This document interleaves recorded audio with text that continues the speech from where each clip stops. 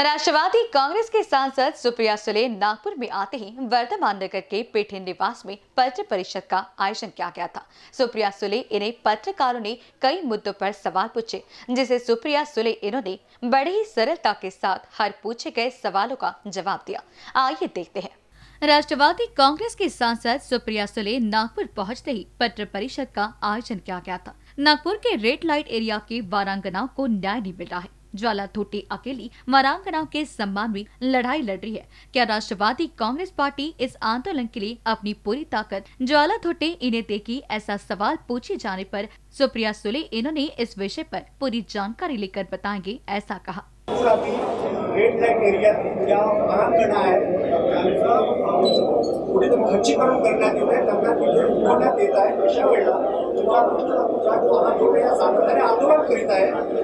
आपल्या पक्षाची किती ताकद त्या आंदोलनाला मिळणार आहे? मला तो प्रश्न समजून घ्यावा लागेल तुम्ही म्हणताय तो.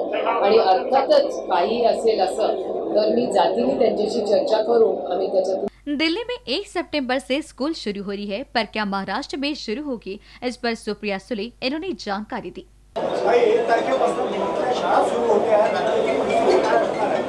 मला असं वाटतं माननीय दादा आणि माननीय राजेश टोपे आणि टास्क फोर्सनी दिलेला जो रिपोर्ट आहे त्याच्यावर दोघंही शाळेंबद्दल मागच्याच आठवड्यात बोललेले आहेत. त्याच्यामुळे ते दोघं या राज्याचा उपमुख्यमंत्री आणि आरोग्यमंत्री एकदा तुम्हाला सिग्नल दिल्यावर मला बोलणं काही गरजेचं असं मला वाटतं. पिछले दो ढाई साल से शहर के व्यापारी पूरी तरह से प्रभावित हुए हैं। इस पर सुप्रिया सुले इन्होंने जानकारी दी।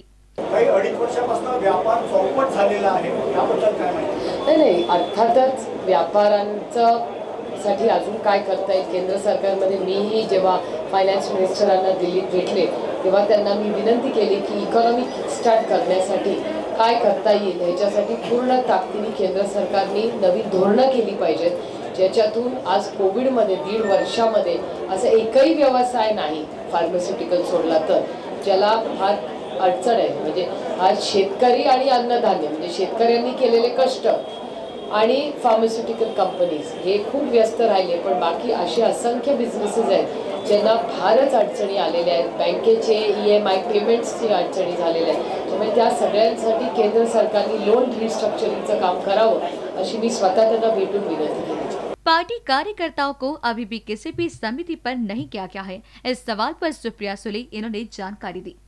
संघटना किंवा पार्टी करण्याकरता कार्यकर्ते राब राब राबतात दोन वर्षाचा कार्यकाळ झालेला आहे. मात्र अद्याप कोणत्या संधीवर कार्यकर्त्यांना न्याय मिळाला नाही या संदर्भात काय नाही अनेक अशा आहेत कमिट्या ज्याच्यात काही निर्णय झालेले आहेत काही ठिकाणी नाही झालेले आहेत.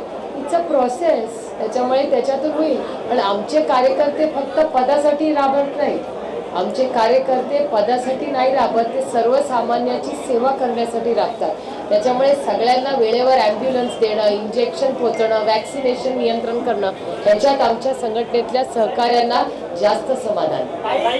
मिशन न्यूज के लिए वर्धमान नगर से कैमरा पर्सन माइकल रामपुरे के साथ संजय मिरे की रिपोर्ट